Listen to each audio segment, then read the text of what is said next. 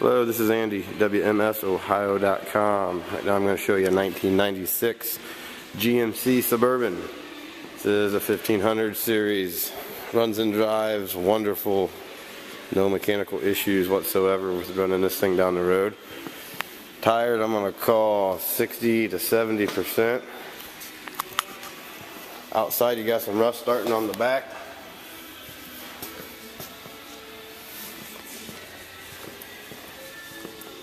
That right there is going to be the worst of it.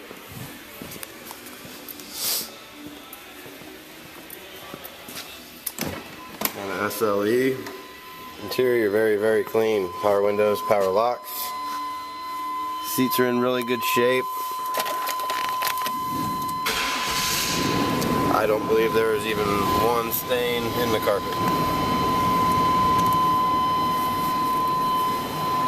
Rear controls.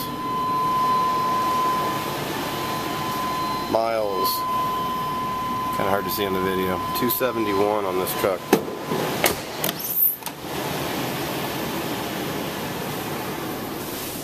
Just as clean back here and does have the third row.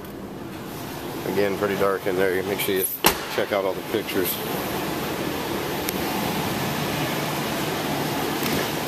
Get that hatch popped for you.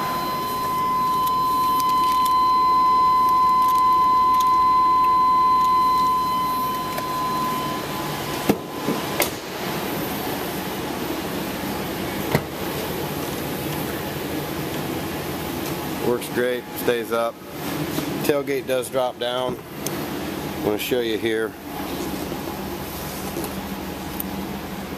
That hinge is good. This hinge is rusted off. It does drop down like it should. Going to need a little bit of help though. And again, real clean back here as well.